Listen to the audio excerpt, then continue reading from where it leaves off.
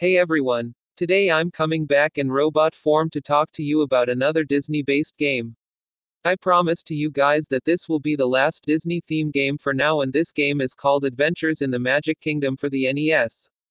This game came out back in 1990 by Capcom, and you play as a character out to help Mickey find the six silver keys to open the castle and get the golden key that Goofy accidentally locked away in order to start the parade.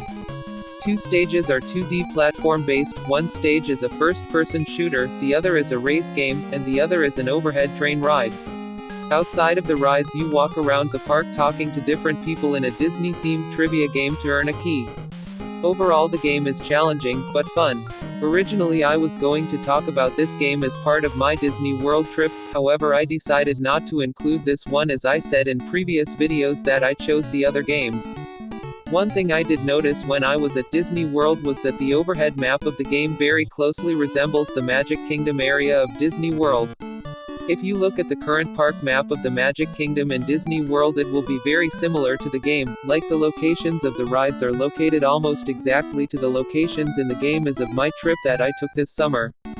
This game is also very nostalgic to me because it was one of the early games I owned for the NES when I was a kid, and a lot of my family and friends enjoyed the game. As of the making of this video, the game is not too expensive to own. Give this game a try, it's a fun game to play. This has been Erik the Bay Area Collector in robot form. Thanks for watching.